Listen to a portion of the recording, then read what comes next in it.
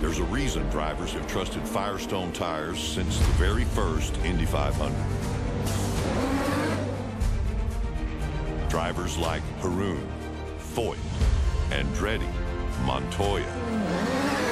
Because while finishing is hard enough, it's winning that makes you a champion.